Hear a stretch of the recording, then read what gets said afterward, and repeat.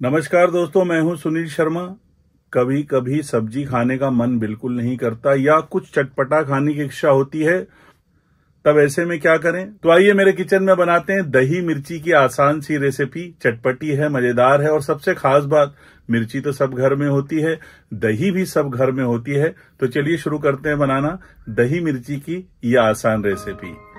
दही वाली मिर्ची बनाने के लिए हमने दो तरह की मिर्ची ली है।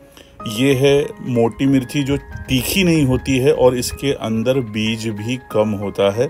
देखिए, मैं इसको तोड़ के बताता हूँ आपको। ये देखिए, इसके अंदर बीज कम है, मगर दही मिर्ची बनाने के लिए ये मिर्ची का प्रयोग आप कर सकते हैं। दूसरी ये मिर्ची है जिसके अंदर बीज थोड़े ज़्यादा होते हैं और थोड़ी हार्ड होती है, ये थोड़ी स्पाइसी ज़्यादा होती है। तो आप ये मिर्ची भी ले सकते हैं। तो मैंने आपको दिखाने के लिए दोनों तरह की मिर्ची ली है और आइए अब इसे कट कर लेंगे। तो ये जो कम स्पाइसी मिर्ची है, इसको मैं बीच में से कट कर रहा हूँ क्योंकि काफ़ी बड़े बड़े पीस हैं और इसे देखिए बीच में से एक चीरा ऐसे भी दे देंगे। इसके पीछे की जो पूँछ है, जो टेल है, उसे मैं रहने दूँगा। आप चाहें तो इस छोटी वाली मिर्ची की टेल निकाल सकते हैं। मैं आगे से इसको कट करके और इस तरह से इसमें चीरा लगा दूँगा। तो देखिए हमारी मिर्ची अच्छे से कट के तैयार हो गई है।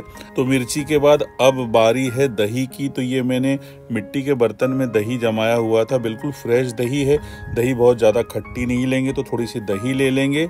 और इसके अलावा ये मैंने एक दस्ता लिया है एक मसाला बना लेंगे। इसमें मैं डाल रहा हूँ सौंफ। इस रेसिपी में सौंफ का टेस्ट आएगा तो बहुत मज़ा आएगा खाने में। साथ में थोड़ी सी पीली सरसों, अगर आपके पास पीली सरसों ना हो तो आप राई या काली सरसों ले लीजिए। कुछ काली मिर्च के दाने भी डालेंगे। ये देखिए, मैंने दोनों तरह की राई अलग से डाल रहा हूँ आपको दिखाने के लिए। साथ ही लेंगे थोड़ा सा जीरा, जो कि बहुत ही ज़रूरी होता है हमारी हर तरह की सब्ज़ी, हर तरह की रेसिपी के लिए। थोड़ी सी कलौजी भी डाल दीजिए तो बहुत अच्छा टेस्ट आएगा। अब आइए इन सबको कूट के एक दरदरा सा मसाला बना लेंगे। इसे आप ज़्यादा क्वांटिटी में हो तो मिक्सर में भी पीस सकते हैं।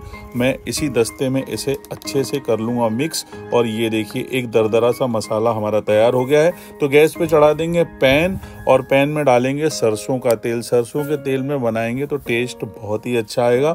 तेल जैसे ही गर्म हो जाए तो हमने जो मिर्चें दोनों तरह की काट के रखी थी, उसे इसमें डाल के हमें थोड़ी देर फ्राई कर लेना है। इस वक्त आँच को हमें मीडियम रखना है। याद रखिए, मिर्ची काट के आपने डाली है, इसलिए उड़ेगी नहीं, वरना कई बार मिर्ची उड़ती भी है तो मिर्ची देखिए बहुत अच्छे से थोड़ी सी भुन गई है। तो अब हम यहाँ पे डाल देंगे कुछ सूखे मसाले तो आँच को कम कर दिया है मैंने। और सबसे पहले डालेंगे इसमें हल्दी पाउडर, थोड़ा सा लाल मिर्च का पाउडर आप चाहें तो कश्मीरी मिर्च डाल सकते हैं, थोड़ा सा भुना हुआ जीरे का पाउडर साथ में अमचूर पाउडर, अगर अमचूर पाउडर ना हो तो आप नींबू का प्रयोग कर सकते हैं, चाट मसाला डाल सकते हैं। और ये जो हमने दस्ते में मसाला कूट के बनाया था, वो डाल देंगे। अच्छा भर के डालिए और इसे भी कम आँच पे थोड़ा सा भूनने के बाद हम डालेंगे स्वाद के अनुसार नमक। इस वक्त आँच को रखिए कम ताकि मसाला ना जले। थोड़ा सा पानी डाल देंगे ताकि मसाले अच्छे से मिर्च के साथ पक जाएँ और मिर्च भी इन मसालों के साथ, पानी के साथ थोड़ी सी पक जाएगी। तो अच्छे से इसे हम कर लेंगे मिक्स ढक के इसे डेढ़ से दो मिनट तक पकने देंगे। तो ये देखिए दोस्तों, पानी थोड़ा सा सूख गया है। मिर्ची भी अच्छे से पक गई है। तो अब बारी है दही डालने की। तो मैंने गैस को बंद कर दिया ताकि दही ना फटे। रूम टेम्परेचर पे ये दही है तो चार चम्मच दही डाल रहा हूँ यहाँ पर। और दही डालने के बाद आपको तुरंत ही इसे मिक्स करना है, वरना दही फट सकती है। तो दही को मिर्ची और मसालों के साथ बहुत अच्छे से मैंने फटाफट मिक्स कर लिया है और गैस को फिर से चालू कर लिया है। इस वक्त आँच को कम रखना है और एक हल्का सा बॉयल आने तक इसे मिक्स करना है। तो देखिए, हल्का बॉयल आ गया, तेल ऊपर आ गया तो इसे थोड़ी देर ढक दीजिए और गैस को कर दीजिए बंद और गर्मा गर्म सर्व कीजिए। ये दही मिर्ची की क्विक रेसिपी। दोस्तों, आप इसे सफ़र में भी लेके जा सकते हैं, टिफ़िन में दे सकते हैं, और बनाना कितना आसान है, आपने देख लिया। रोटी पराठों के साथ खाइए, दाल चावल के साथ सर्व कीजिए। और सबसे बड़ी बात कि आप इसे फ्रिज में रख के तीन से चार दिन तक इसका आनंद भी ले सकते हैं। तो रेसिपी अगर पसंद आई हो तो मेरे चैनल को सब्सक्राइब ज़रूर कीजिएगा। आप सभी का बहुत बहुत धन्यवाद।